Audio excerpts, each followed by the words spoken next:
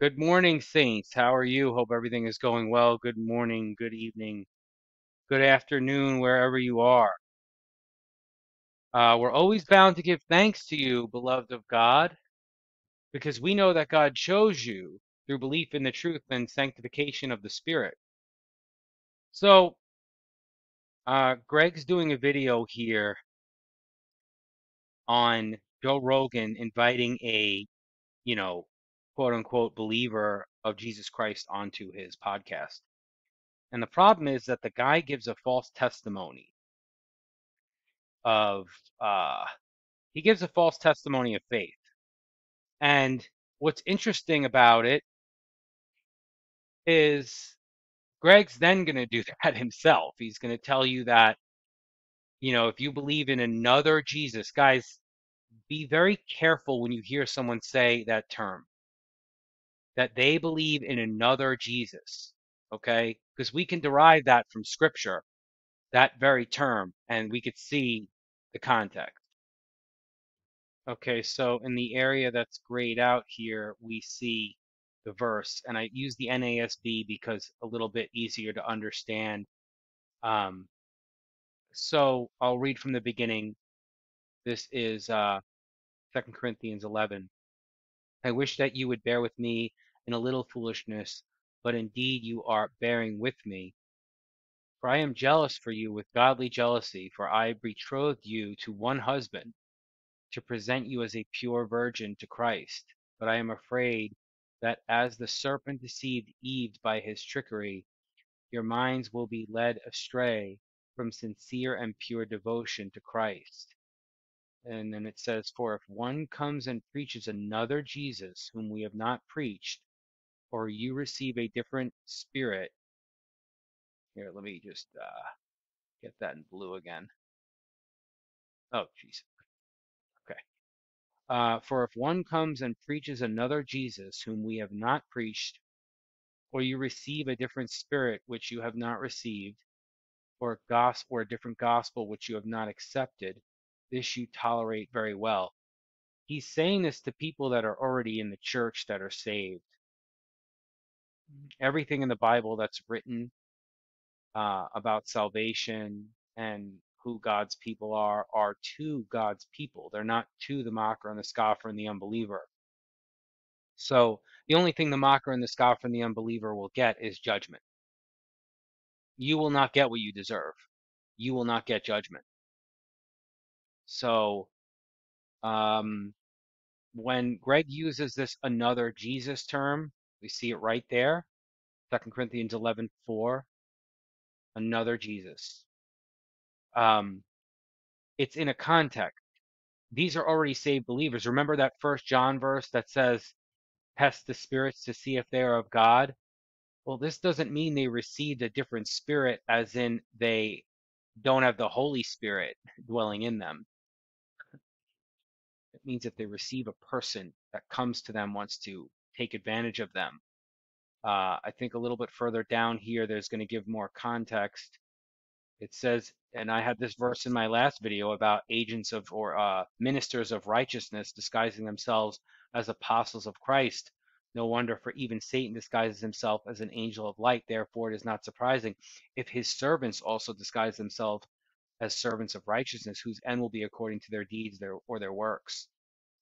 Okay. Um, and so, and then uh, if you look down here at verse 20, it gives a little more context to what these people might look to do. For you tolerate it if anyone enslaves you, if anyone devours you, if anyone takes advantage of you, if anyone exalts himself, if anyone hits you in the face.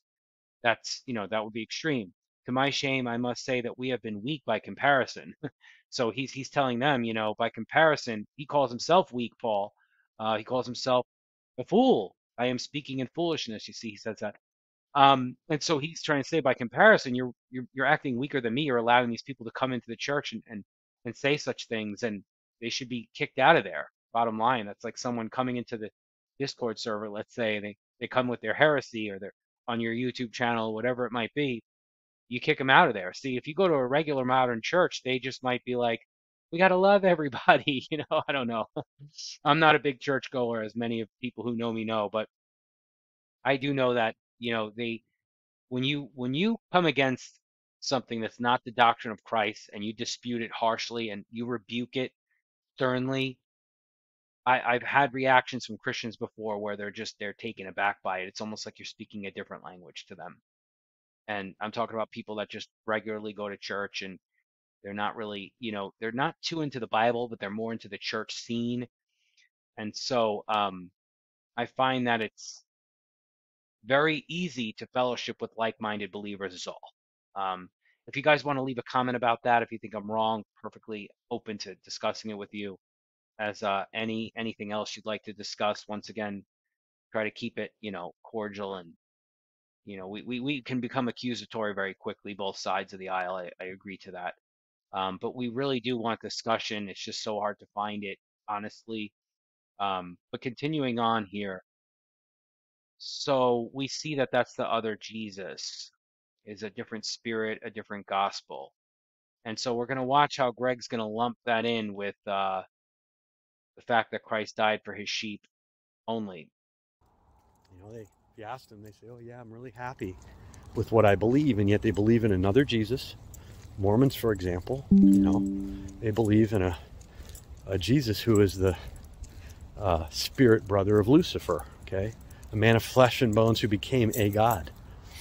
And so this is a different Jesus, and you have to believe in the Jesus of the Bible to be saved. Mark that. Mark that. You have to believe in the Jesus of the Bible to be saved. Okay? That's a saying that people like to say. It's not untrue. Problem is, is it's totally subjective to people.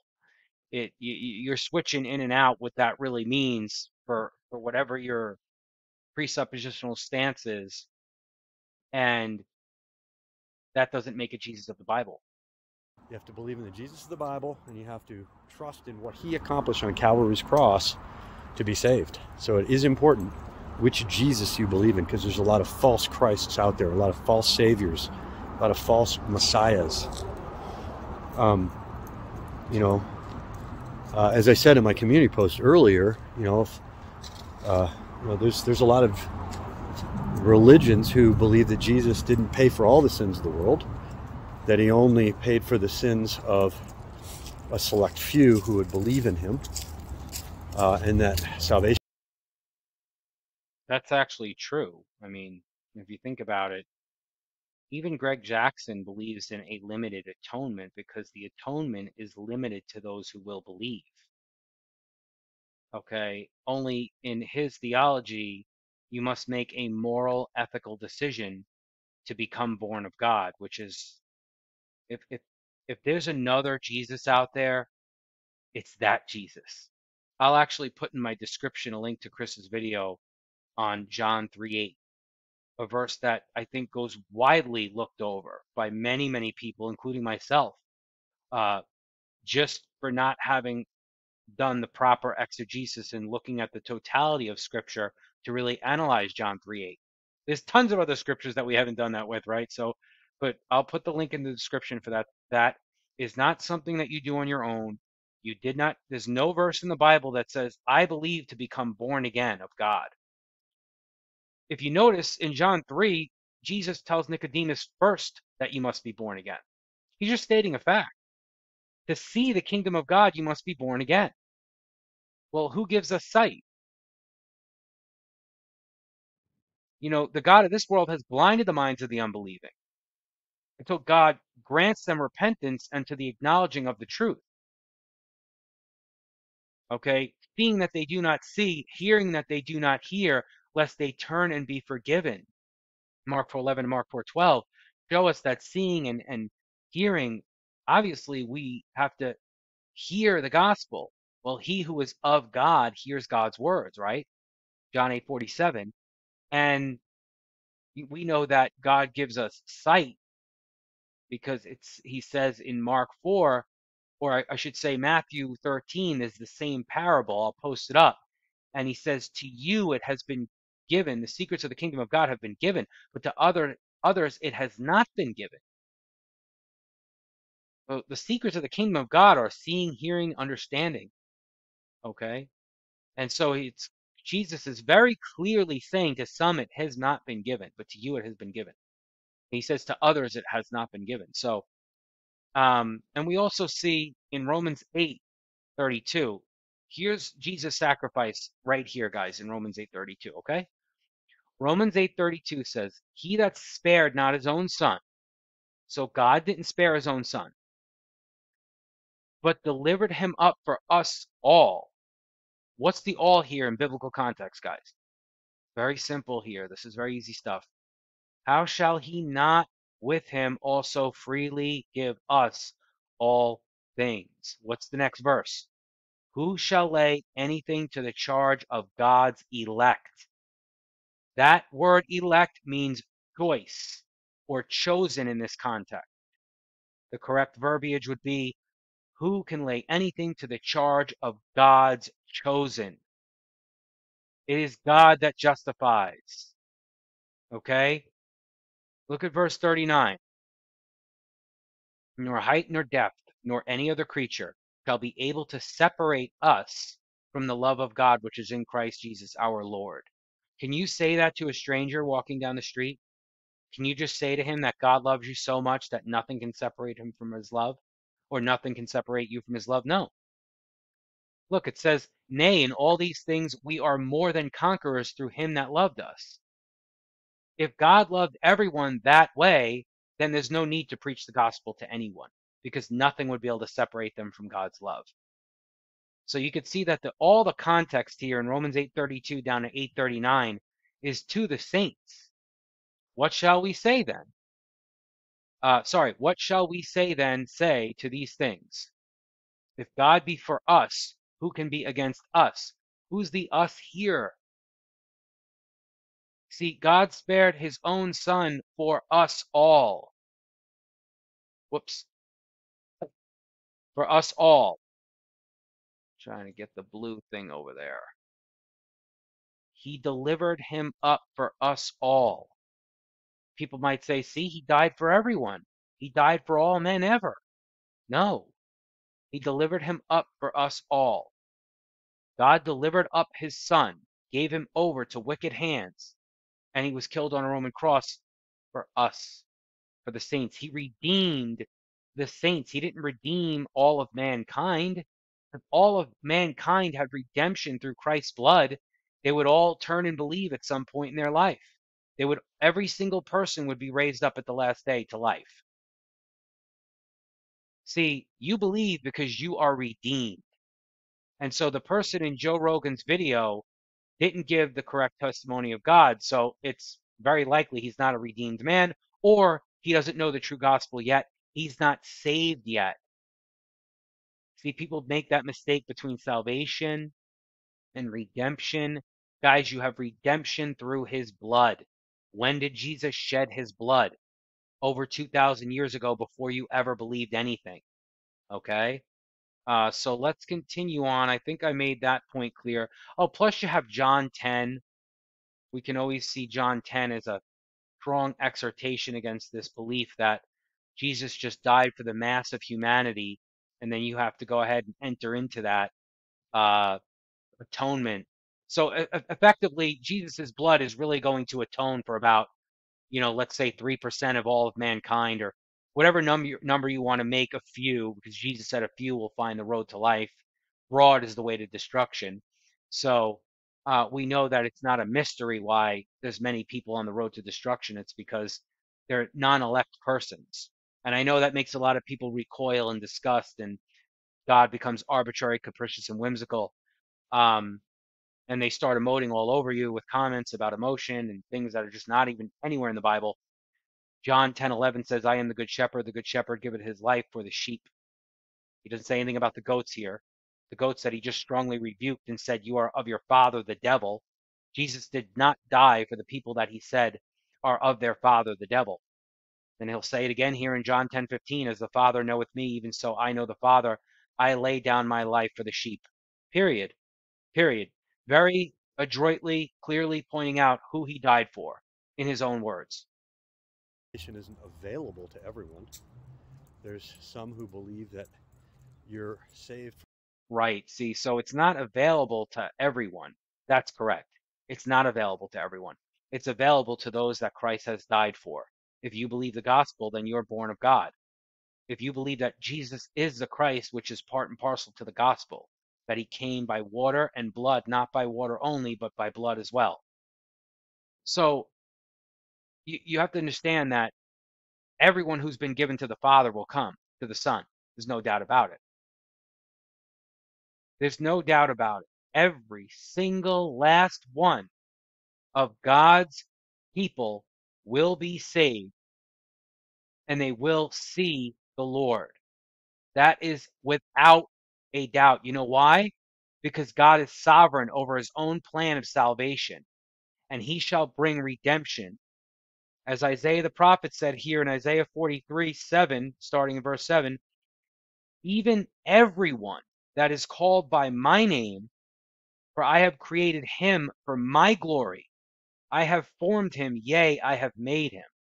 Bring forth the blind people that have eyes and the deaf that have ears. Guys, how much does that line up with Mark 4:11 and 4:12? Okay, you could see when you rightly divide the scriptures, you can't escape the truth. Bring forth the blind people that have eyes and the deaf that have ears. That's implying that they had no sight and no hearing until God gave it to them. Let all the nations be gathered together, and let the people be assembled, who among them can declare this, and shew us former things. Let them bring forth their witnesses, that they may be justified, or let them hear and say, It is truth. Ye are my witnesses, saith the Lord, and my servant whom I have chosen, and that ye may know and believe me, and understand that I am he. Before me there was no God formed, neither shall there be after me. Guys, we see hearing, we see seeing, we see understanding. First John 5:20 says he hath given us an understanding so that we may know him who is true, Jesus Christ the righteous. I mean, it's just it's overwhelming amount of evidence that you believe the gospel because God did that work in you from the beginning. Uh, he chose us in him before the foundation of the world. Take a look at that. Ephesians 1 4. According as he hath chosen us in him before the foundation of the world. What they do with this verse is they say that God didn't choose you until you were in Christ. First Corinthians 1:30 says that it was due to the Father, it was due to him that you are in Christ Jesus. It was due to his drawing, his choosing of you before the foundation of the world. That's why you're in Christ to begin with. So what they want to do is they want to say, yeah, you're not chosen until you believe in Jesus Christ. Go to Romans 8:30. First the predestination happens, then the calling, then the justification. That's the order in which things occur. And no action of man is being written about there in Romans 8:30. And remember, we were just in there, Romans 8:30. Oh, I switched over to John 10, but that was also leading into all those verses about the one who delivered him up uh, for us will he not also give us free uh, freely all things? Well, a non-believer is not going to be given redemption. Uh, oh, well, I should say, I should say, I should word it like this: a non-believer doesn't have redemption. They're not given sanctification. They're not given wisdom. They're not given righteousness. They're not given any of those things until they're in Christ, right? And the only reason why you're in Christ is due to Him it is due to him that you're in Christ Jesus. So when this verse reads, according as he hath chosen us in him, what it doesn't say is he chose us in him after we used our free will to believe in Christ. Then we were in Christ, then he chose us. You see how much adding in I have to do to make that work? No. The one who does the choosing is God, as he hath chosen us in him. Doesn't say anything about our choice there. So you don't get to mishandle the scripture and say, well, it says in him, so we weren't in him till we believed on him. We already know through a multitude of other scriptures why we believe. It's because we've been given an understanding, we've been given spiritual sight, we've been given spiritual hearing, we've been made alive in Christ, and it's all to the praise of the glory of his grace, wherein he hath made us accepted into the beloved. How does him making us accepted have anything to do with your free will choices. You don't see any of that stuff in the verbiage here. You just don't. It's all according to the good pleasure of his will. Those who were born of him, they received him because they were born of him. Okay, they didn't receive him because they decided to believe and then they made themselves born again. You're putting the cart before the horse. There is no scripture in all of the Bible that says that you believe to become born of God.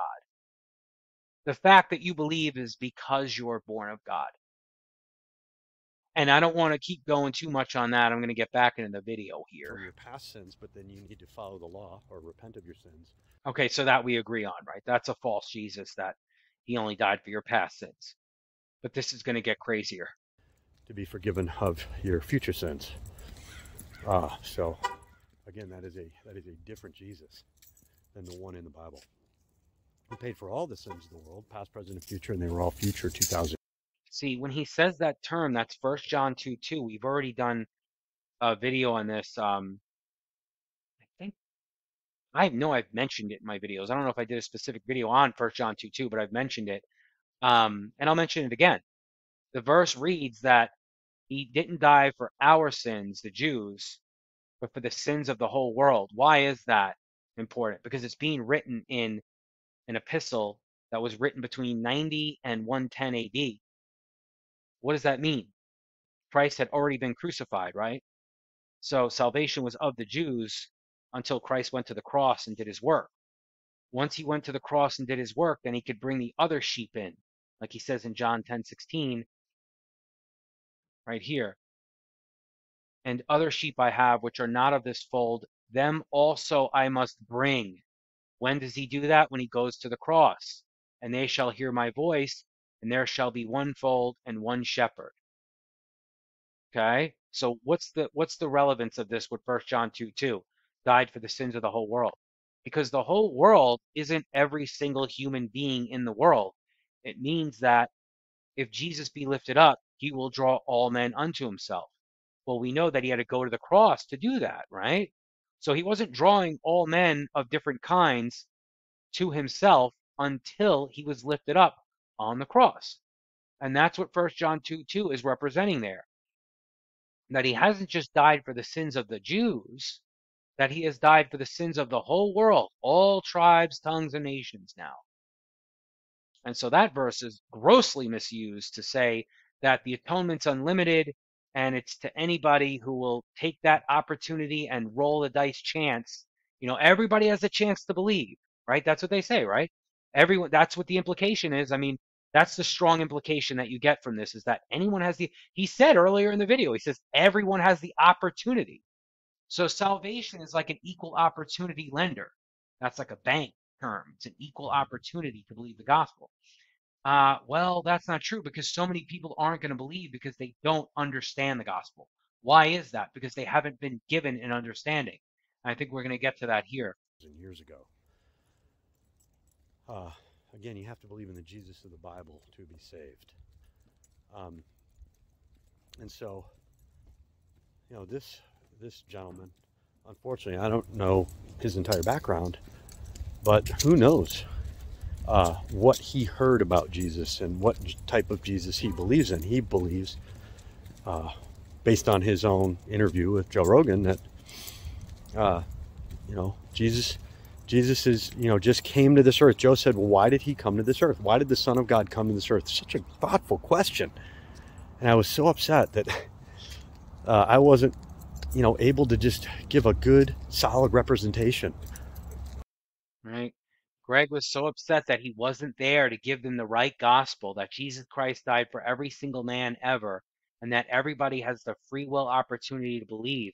And don't forget, Gregg, if you were on Joe Rogan's podcast, that you have to add in you must believe that it's God's God gave you free will to choose. Otherwise, it's a different Jesus.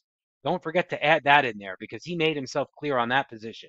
That if you believe God chose you unto salvation, you have another Jesus. If you believe that Jesus Christ only died for his sheep, you have another Jesus. Don't forget to, you know, get that in there when you get on Joe Rogan's podcast, if that's ever to happen, so you can give them your gospel. Of what the Bible says, you know. And it was such a letdown because so many people, you know, thousands of people that watch this video now think that Jesus came uh, to teach people how to be good and to live good lives. So now they think, oh, okay, well, if I can just live a good life and follow the example of Jesus, he said Jesus came to set an example of how we should live our lives. Uh, well, I guess that's, you know, he certainly did set a good example, the perfect example, right? But uh, the reason that Jesus came to this earth is to save sinners from the penalty and punishment of their sins. He came. Uh, he came to save his people from their sins. Matthew one twenty one. Okay, and so there's no doubt about it. But what's interesting is that you could see that Gregg is disappointed because man is screwing up God's salvific plan. Um, guys, there must be heresies among you that they which are approved may be manifest among you. And so I think it's important to understand that God works all things according to the counsel of his own will. Nothing is going on in the world right now that shouldn't be happening. Every person that God wants saved will be saved. Okay? No one's going to miss the train to glory. This this free will chance system is so atheistic in its mindset. It's incredible that he doesn't pick up on that. Absolutely mind blowing that he thinks that all these people are going to be lost because God can't get it done. He's relying on human hands. He's relying on man's ability to get up and leave his doorstep and preach the gospel and get more people saved than God ever intended. That is heresy. That to to take our sins, for he who knew no sin became sin, that we would become the righteousness of God in him. First Corinthians chapter yeah, that's Second Corinthians, and let's take a look at that actually, because that's really interesting that he brought that up. I really did want to uh, take a look at that because that's got a personal. Oh, sorry, that's five. What am I apologizing for? All right. Um, so let's take a look at these verses in context. Here's the verse that he's saying: "For he hath made him to be sin for us." Who knew no sin, that we might be made the righteousness of God in him. Guys, that is directed at the saints. Look at the context. Therefore, let's start in verse 17. Therefore, if any man be in Christ, okay, how are we in Christ? We're in Christ because of him, because of God. But it is due to him, by his own doing, you are in Christ Jesus. Whose own doing? Who has become unto us wisdom, redemption, sanctification, righteousness, so that he who boasts may he boast in the Lord. Therefore, if any man be in Christ, he is a new creature. Old things are passed away. Behold, all things are become new. So, see, now Gregg's going to say, well, you're in Christ because you made the free will choice to believe in him. That's not what Paul wrote in the first book of Corinthians. Let's check it out. I'll go to another uh,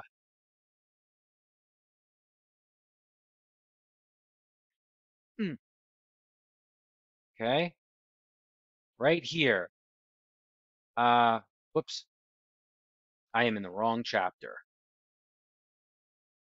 Uh, so 1 Corinthians 1, 30, I was in 11. But it is due to him that you are in Christ Jesus. Okay, keep that one there in mind. Okay, but it is due to him that you are in Christ Jesus. Let's go back to 2 Corinthians 5. Therefore, if any man be in Christ, he is a new creature. Old things are passed away. Behold, all things are become new, and all things are of God who hath reconciled us. Who has he reconciled? By the body of his death, he reconciled us. As Romans 5:10, he reconciled us by his death, so we shall be saved by his life. The fact that Jesus rose again is the reason why you have life through his name and all things are of God who hath reconciled us to himself, not everyone. And watch, this is going to be mind blowing as it continues to read on. Uh, reconciled us to himself by Jesus Christ and hath given to us the ministry of reconciliation. To wit, that God was in Christ, reconciling the world unto himself. Did he reconcile every single person? See how they misuse that word world? It's so, such a gross mishandling of that word reconciling the world unto himself, not imputing their trespasses unto him, Remember that David said, Blessed is the man that God does not impute sin, and hath committed unto us the word of reconciliation. Now then, we are ambassadors for Christ, as though God did beseech you by us. We pray you in Christ's stead, be ye reconciled to God. For he hath made him to be sin for us, who knew no sin, that we might be the righteousness of God in him. So there you have it. That's the verse in question. And it has everything to do with people that have been reconciled. And you see that Paul says, We pray you in Christ's stead be reconciled to God. He's telling them now, you be reconciled to God, as in understand that reconciliation means you have a good standing with God. You have to understand that too. You God is, is good with you. God loves you, right? You're a saint in Christ. You are holy and blameless. You're loved as the Son is loved. All that stuff. You're seated in the heavenlies. All that great new stuff. But you have to reconcile that for yourself. You have to believe it for yourself. Uh, and so let's see if we can continue on here. Uh, First Corinthians five twenty one, I believe. Uh, and that really is kind of the core of the gospel, isn't it? He who knew no sin became sin, it would become the righteousness of God in him. Right. He became sin for us, for the saints. He didn't become sin for every single person. This is so you can just look to the scriptures, look up these words reconciliation, redemption. You could see those things preceded you believing the actual gospel. So he took our sin, paid the, took our uh, penalty that uh, we owed, or took took the punishment that that that we deserved, paid the penalty that we owed uh, on our behalf because he loves us that much. Right. See, so he's he's saying that he just loves everybody in the world that much. He loves the mocker and the scoffer. He loves the Satanist. He loves the person that will never believe. No, no. That's he's he's telling you that basically listen, believe the gospel because it's a get out of hell free card. It has nothing to do with being one with the Father, the Son, and the Holy Spirit. It has nothing to do with the eternal sonship that we have, all the gifts that we can't even possibly fathom. Okay? That's what salvation is to me. It's not just this get out of hell free card. Obviously, that's a great benefit from it, but yeah, you know what I mean. Uh, he didn't come to teach us how to uh, be good people so that we could possibly become good enough in our own flesh uh, to go to heaven. And yet, unfortunately, that's what, if you listen to this interview, that's the impression that you're left with. And it made me think all right, this guy couldn't explain, you know, why he believes that Jesus existed. That's just very basic. Um, which leads me to believe that he had a very shallow understanding of the Bible. Um, and that, you know, most people, unfortunately, I believe, are like this guy. Right. Let's okay, let's listen a little They don't more. know who Jesus is, and they don't know what he accomplished on Calvary. Right. So why do you think that is, Gregg? See, these people act like it's a complete mystery as to why these things might be. I mean, and this is the deceitfulness of free will philosophy and how it drags you to the depths of this utter ignorance. And I don't know if it's willful or what, or just a very hard, fast, and presuppositional stance that doesn't allow you to come out of the blindness. Guys, Matthew 11, 27. We're going to rightly divide it with, uh, we're going to rightly divide that with John 14. Okay. I want you to take a look at something here. Let's go to John 14, 17 first. Uh, okay. Let's let's read from John 14, 16. And I will pray the Father. Remember that. I will pray the Father, and he shall give you another comforter, and that he may abide with you forever. If this isn't salvation, I'm not a Christian. Okay. Even the Spirit of truth, whom the world cannot receive. More inability. It has nothing to do with people. People try to tell me, well, they cannot receive it because they don't believe. And there's antecedent causes as to why they don't believe. Because it seeth him not, neither knoweth him not. Okay? uh, neither knoweth him, but ye know him, for he dwelleth with you, meaning Christ was with them at that time, and shall be in you, because he goes to the Father. So now you have the indwelling. Let's go to Matthew 11. Same Jesus is speaking here. It's not a different Jesus. All things are delivered unto me of my Father. No man knoweth the Son but the Father, neither knoweth any man the Father save the Son, and he to whomsoever the Son will reveal him.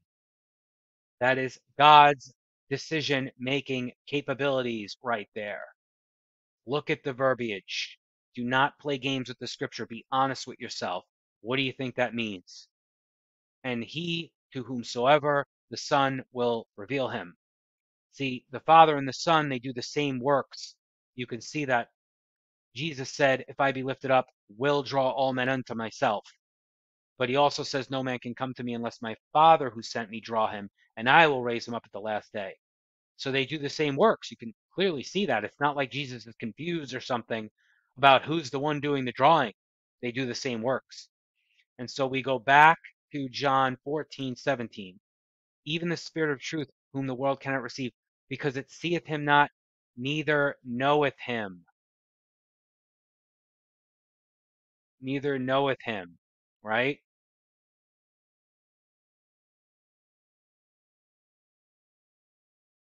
Neither knoweth any man the Father save the Son. It has to do with knowing, guys. This is also related to God's foreknowledge. Okay? Will God cast away his people? God forbid. He will not cast away those he foreknew.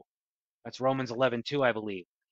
Um, he foreknew the people that were predestined to be conformed to the image of his son. After the foreknowing, he then predestinated them. After he predestinated them, he then called them. After he called them, he then justified them. And after he justified them, he then glorified them. And that verse says he glorified them past tense. Let's take a look at that. Um, Romans 8. See, Romans 8 is just an absolute field of scorched earth for Gregg Jackson's heresy. And he's just overlooking it and just playing pretend. But Romans 8 is just really taking free will heresy by the throat and choking the life out of it. Um, so, for whom he did foreknow, he also did predestinate to be conformed to the image of his Son, that he might be the firstborn of many brethren. Moreover, whom he did predestinate, see, you got to start from this point here, because he's going to show you now how you get to the point where you're conformed to the image of the Son. Moreover, whom he did predestinate, them he also called, and whom he called, them he also justified, and whom he justified, them he also glorified. Notice how that is in the past tense. Well, are we glorified yet? No. Are we seated in the heavenlies? Yes. I know it's hard to grasp that, but that's that's the beauty of the scripture is that there are things in it that you can't fathom in the carnal mind, that you can't fathom in the flesh. And so, yeah, we see that the spirit of truth that the world cannot receive because it doesn't know him. Well, you have to be revealed to the Father by the Son because no man knows the Father save the Son, and he to whomsoever the Son will reveal him. So, no man knows the Father save the Son, and so there's going to be other people that know the Father, us. so the saints, right? And Christ always knew us. He knew us before the foundation of the world with a salvific love, a perfect love. Oh, going on 40 minutes here. So uh, let me just see if there's anything else in here. They don't know the gospel. They don't know the good news. Right, because God hasn't granted them repentance to come into the knowledge of the truth. Second Timothy 2:25 and 2:26. See, we know that that is completely written in the Bible the question that he doesn't understand is due to his his ignorance and his willful um, stubbornness against the and this is the will of man is is to resist what the Holy Ghost speaks, right? You always resist the Holy Ghost. This is their, they, they try to say this crushes limited atonement. Uh, that it's by our free will that we resist. Acts 7:51 is not talking about someone who received the Spirit of God and was made born again by the Spirit of God. That's not what Acts 7:51 is talking about. It's worth addressing, but that would be another hour-long video. Um, but that's what they use. They think it's some sort of defeater when Stephen's not giving the gospel to those people. He's just showing them that their will is to resist the Holy Ghost. That what what it's saying to them. And in actuality, don't we all do that until we do ultimately come into the knowledge of the truth? When when the Holy Spirit has finally given us the knowledge. I mean, think about it. Even as a believer, you resist the truth that you're eternally saved in the beginning. You struggle with the thought that you might not have to do any work. Wasn't that a struggle for you? I mean, I I I know that's anecdotal. I understand that, but a lot of people I speak to definitely struggled with condemnation and fear of not being saved. Work out your own salvation with fear and trembling. Everyone goes to that stage where they don't fully understand that positionally they can't lose salvation. In, in no way can they lose salvation. Forget about positionally. But they, they don't understand that positionally they're seated in the heavenlies. Let me say that. They don't understand that concept that they're already gods, that they can't be lost. They're sons, they're daughters.